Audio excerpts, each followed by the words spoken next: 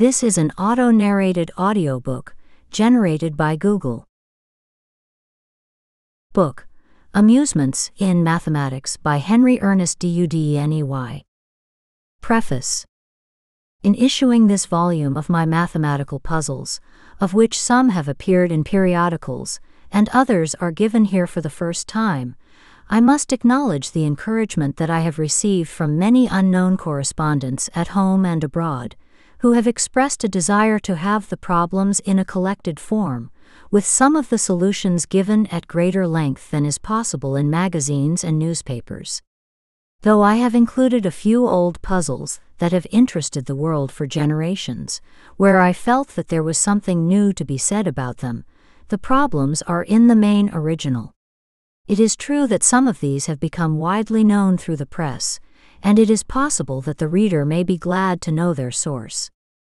On the question of mathematical puzzles, in general, there is perhaps little more to be said than I have written elsewhere. The history of the subject entails nothing short of the actual story of the beginnings and development of exact thinking in man.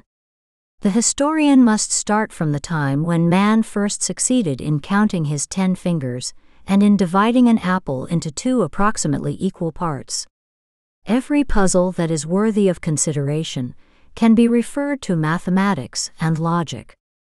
Every man, woman, and child who tries to reason out the answer to the simplest puzzle is working, though not of necessity consciously, on mathematical lines. Even those puzzles that we have no way of attacking except by haphazard attempts can be brought under a method of what has been called glorified trial a system of shortening our labors by avoiding or eliminating what our reason tells us is useless. It is, in fact, not easy to say sometimes where the empirical begins and where it ends. When a man says, I have never solved a puzzle in my life, it is difficult to know exactly what he means, for every intelligent individual is doing it every day. The unfortunate inmates of our lunatic asylums are sent there expressly because they cannot solve puzzles, because they have lost their powers of reason.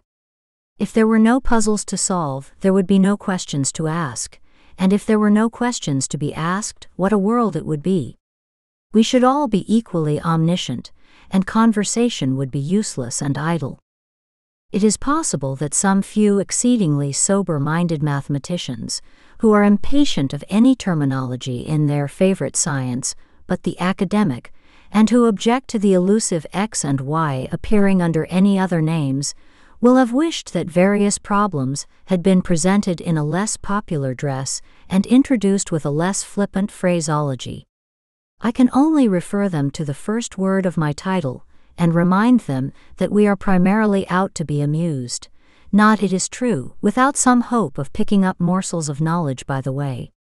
If the manner is light, I can only say in the words of Touchstone that it is an ill-favored thing, sir, but my own, a poor humor of mine, sir. As for the question of difficulty, some of the puzzles, especially in the arithmetical and algebraical category, are quite easy. Yet some of those examples that look the simplest should not be passed over without a little consideration, for now and again it will be found that there is some more or less subtle pitfall or trap into which the reader may be apt to fall.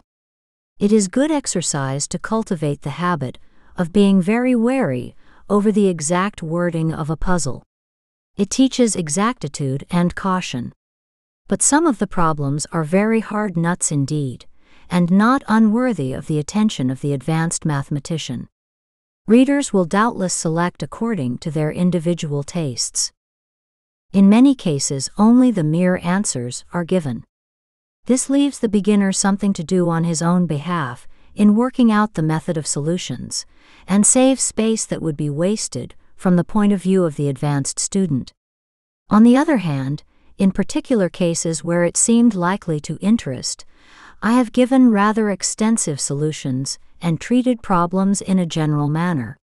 It will often be found that the notes on one problem will serve to elucidate a good many others in the book, so that the reader's difficulties will sometimes be found cleared up as he advances. Where it is possible to say a thing in a manner that may be understand it of the people, generally, I prefer to use this simple phraseology, and so engage the attention and interest of a larger public. The mathematician will, in such cases, have no difficulty in expressing the matter under consideration in terms of his familiar symbols. I have taken the greatest care in reading the proofs, and trust that any errors that may have crept in are very few. If any such should occur, I can only plead in the words of Horace that good Homer sometimes nods, or, as the bishop put it, not even the youngest curate in my diocese is infallible. I have to express my thanks in particular to the proprietors of the Strand Magazine, Cassell's Magazine, the Queen, Tit-Bits, and the Weekly Dispatch for their courtesy in allowing me to reprint some of the puzzles that have appeared in their pages. The Authors Club. March 25, 1917. End of the preface. Chapter 1 Arithmetical and ALGEBRAICAL Problems. And what was he? Forsooth, a great arithmetician. Othello II. The puzzles in this department are roughly thrown together in classes for the convenience of the reader. Some are very easy, others quite difficult.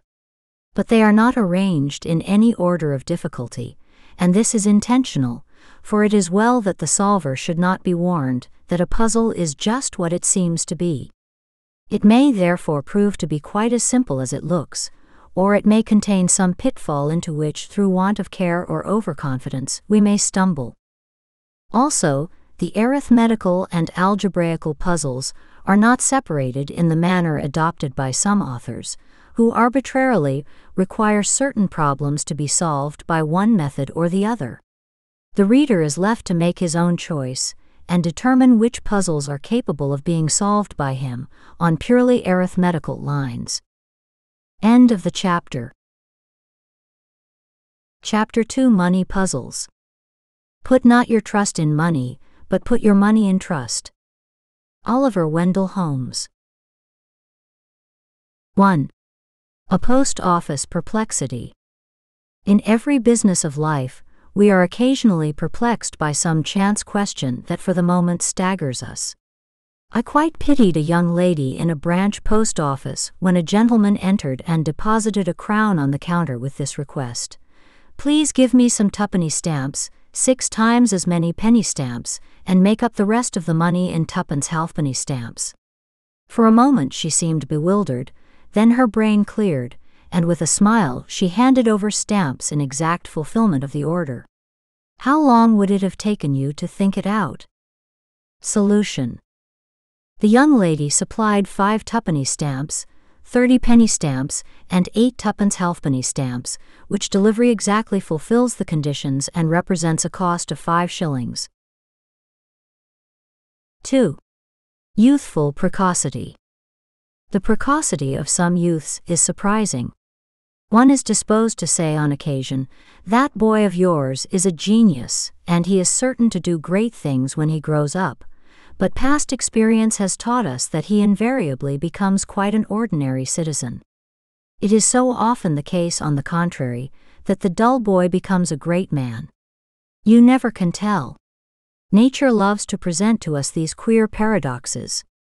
It is well known that those wonderful, lightning calculators, who now and again surprise the world by their feats, lose all their mysterious powers directly they are taught the elementary rules of arithmetic.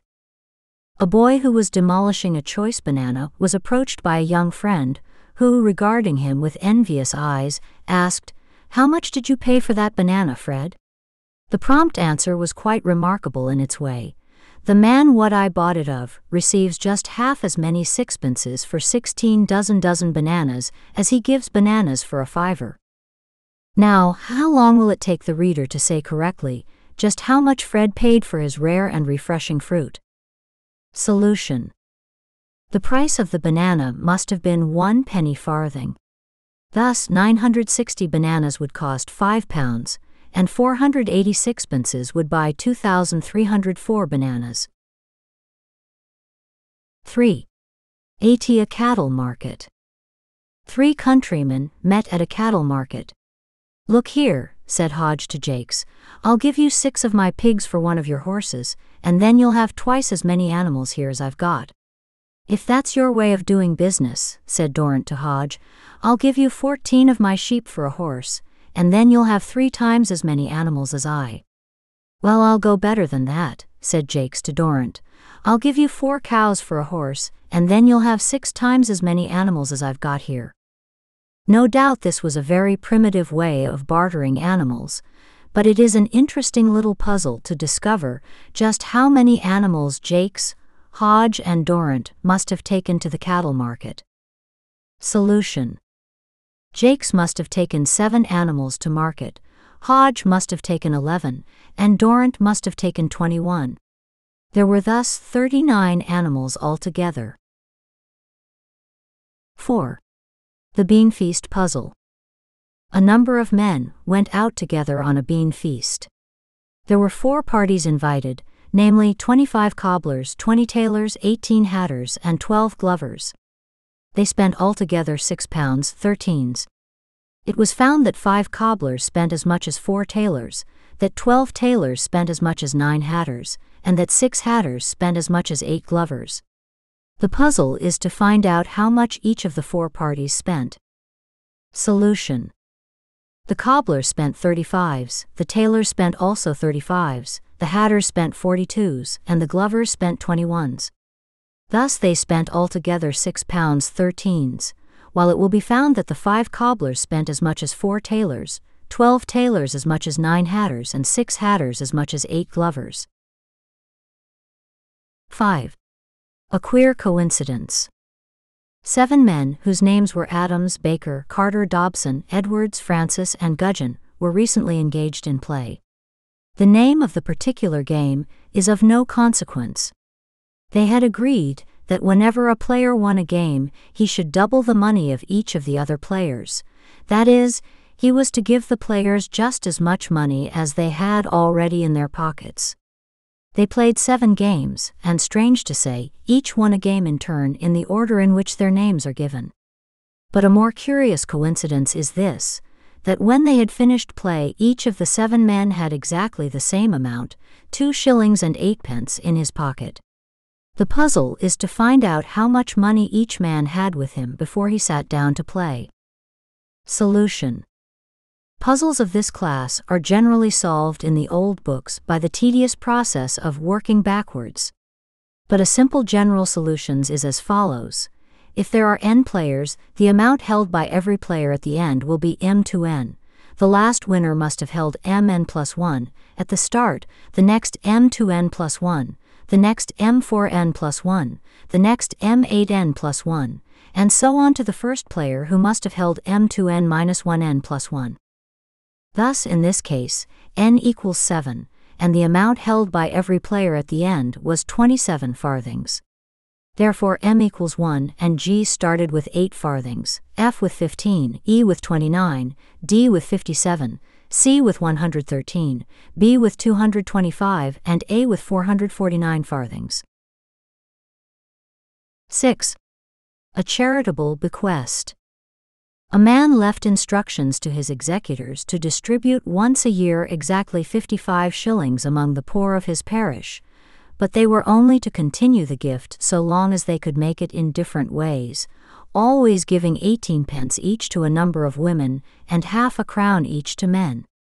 During how many years could the charity be administered? Of course, by different ways is meant a different number of men and women every time. Solution There are seven different ways in which the money may be distributed five women and 19 men, 10 women and 16 men, 15 women and 13 men, 20 women and 10 men, 25 women and 7 men, 30 women and 4 men, and 35 women and 1 man. But the last case must not be counted, because the condition was that there should be men, and a single man is not men. Therefore, the answer is six years. 7. The Widow's Legacy. A gentleman who recently died left the sum of £8,000 to be divided among his widow, five sons, and four daughters. He directed that every son should receive three times as much as a daughter, and that every daughter should have twice as much as their mother. What was the widow's share? Solution The widow's share of the legacy must be 205 pounds, 2s, 6d, and 10 thirteenths of a penny. 8. Indiscriminate charity. A charitable gentleman, on his way home one night, was appealed to by three needy persons in succession for assistance.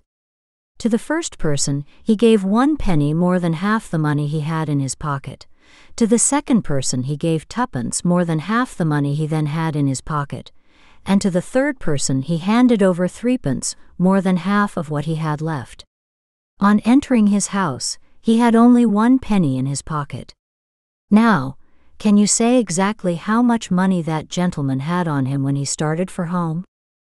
Solution The gentleman must have had threes, 6D in his pocket when he set out for home. 9. The two aeroplanes.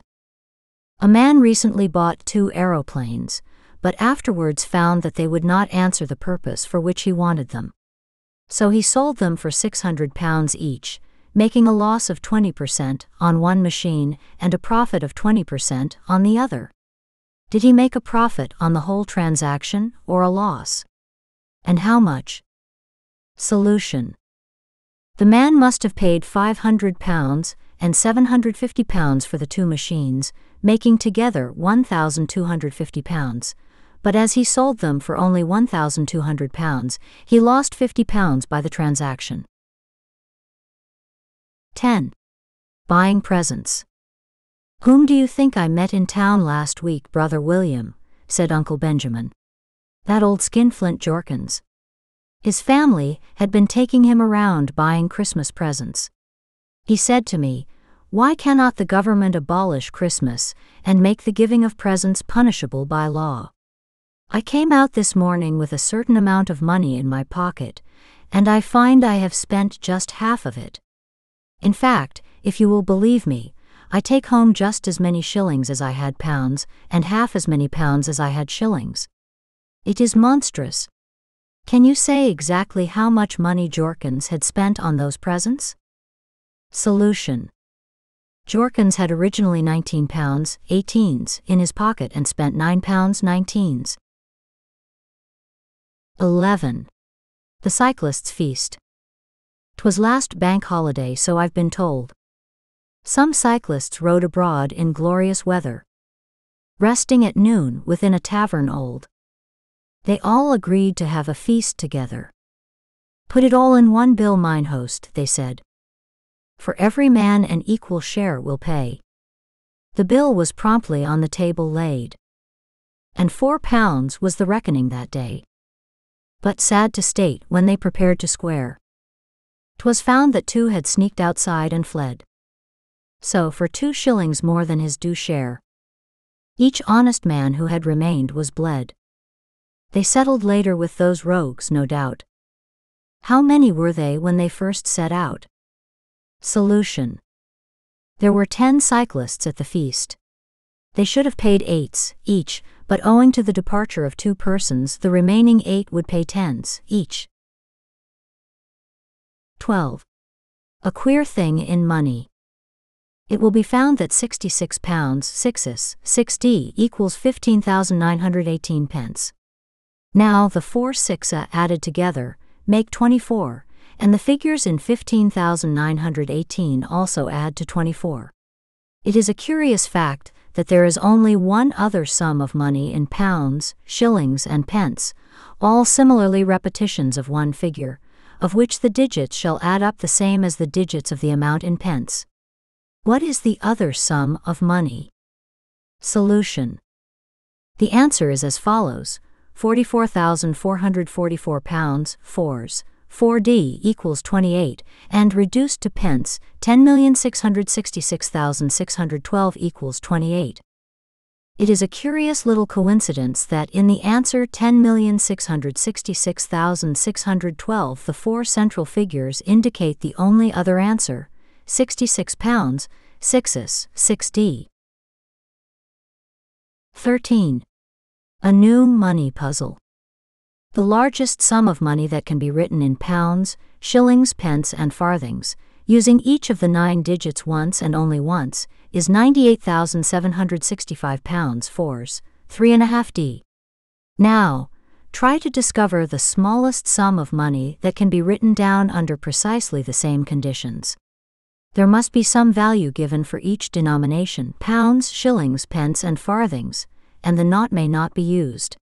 It requires just a little judgment and thought. Solution The smallest sum of money in pounds, shillings, pence, and farthings, containing all the nine digits once and once only, is 2,567 pounds, 18s, 9 and 3 quarters D. 14. Square money. This is queer, said Macrank to his friend. Tuppence added to tuppence is fourpence, and tuppence multiplied by tuppence is also fourpence. Of course, he was wrong in thinking you can multiply money by money. The multiplier must be regarded as an abstract number. It is true that 2 feet multiplied by 2 feet will make 4 square feet. Similarly, 2 pence multiplied by 2 pence will produce 4 square pence. And it will perplex the reader to say what a square penny is. But we will assume, for the purposes of our puzzle, that tuppence multiplied by tuppence is fourpence. Now, what two amounts of money will produce the next smallest possible result, the same in both cases when added or multiplied in this manner? The two amounts need not be alike, but they must be those that can be paid in current coins of the realm. Solution The answer is 1.5d and 3d.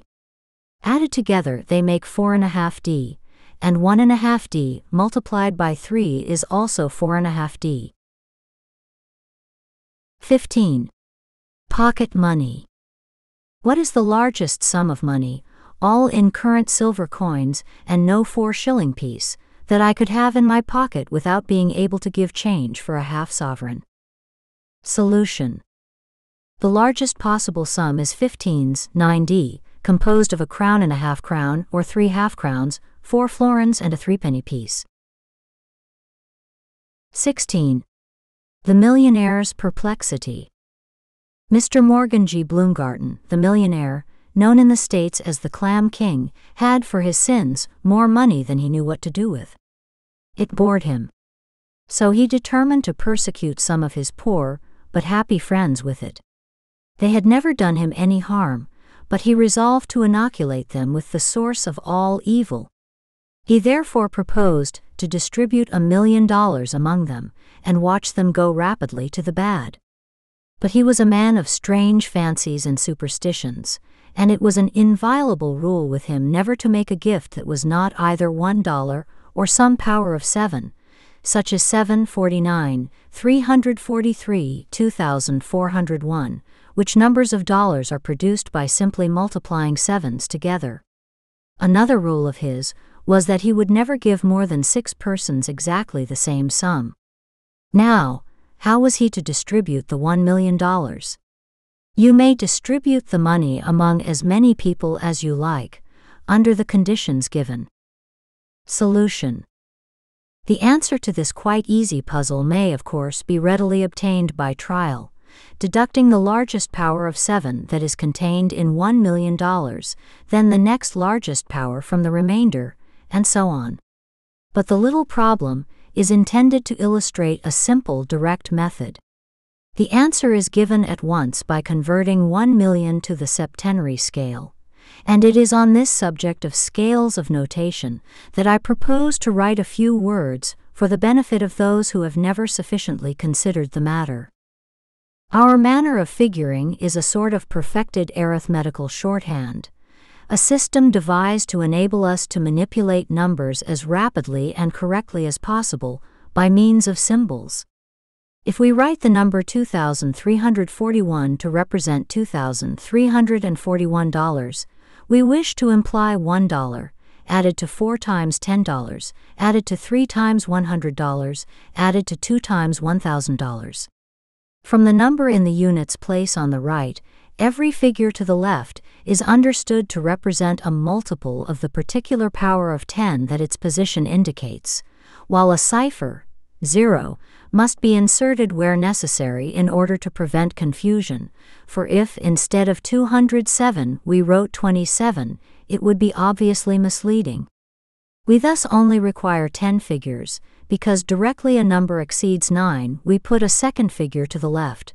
Directly it exceeds 99, we put a third figure to the left, and so on. It will be seen that this is a purely arbitrary method.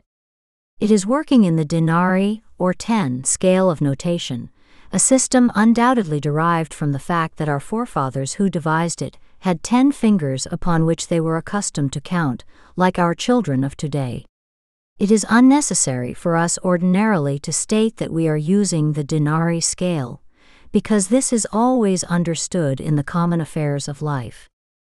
But if a man said that he had $6,553 in the septenary or 7 scale of notation, you will find that this is precisely the same amount as 2,341 in our ordinary denary scale. Instead of using powers of 10, he uses powers of 7, so that he never needs any figure higher than 6, and 6,553 really stands for 3, added to 5 times 7, added to 5 times 49, added to 6 times 343 in the ordinary notation, or 2,341. To reverse the operation, and convert 2,341 from the denary to the septenary scale, we divide it by 7 and get 334 and remainder 3 divide 334 by 7, and get 47 and remainder 5, and so keep on dividing by 7 as long as there is anything to divide. The remainders read backwards 6553 give us the answer 6553. Now, as I have said, our puzzle may be solved at once by merely converting $1 million to the septenary scale. Keep on dividing this number by 7 until there is nothing more left to divide, and the remainders will be found to be 11,333,311, which is 1 million, expressed in the septenary scale. Therefore, one gift of $1, one gift of $7, three gifts of $49, three gifts of $343, three gifts of $2,401, three gifts of $16,807, one gift of $117,649, and one substantial gift of $823,543 satisfactorily solves our problem. And it is the only possible solutions. It is thus seen that no trials are necessary. By converting to the septenary scale of notation, we go direct to the answer.